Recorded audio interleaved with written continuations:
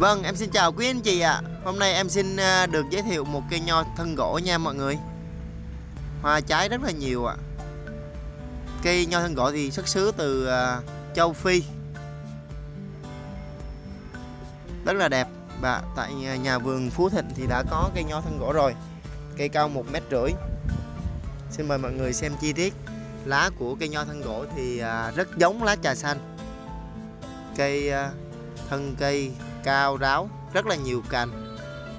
Cây này thì ờ, nhìn bề ngoài cái lớp vỏ cây thân chính thì ờ, rất giống như ờ, cây ổi vỏ thì chóc.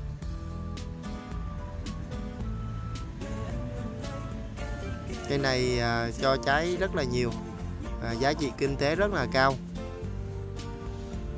Trái khi uh, khi uh, xanh thì nó có màu xanh khi chín thì nó sẽ chuyển dần từ màu màu đỏ tím và về màu tím à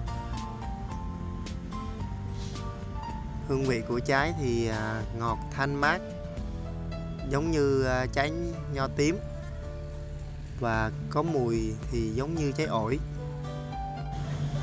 Cơm dày hạt lép cây à, sống rất là khỏe thân gỗ cây lâu năm trồng mà càng lâu năm giá trị kinh tế càng cao, cho giá trị bóng mát, hoa cảnh đẹp trong sân vườn nhà mình. Trước thì à, rất nhiều à, quý nhà vườn, anh chị mình à, săn lùng cây này về trồng vì độ độc lạ của cây, hoa đẹp, trái thơm, ngon.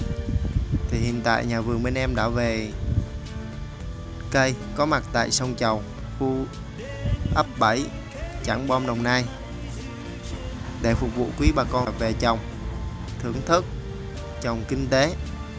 Mọi chi tiết mọi người cứ đến trực tiếp cơ sở chính của bên em. Mình à, cùng tham khảo về cây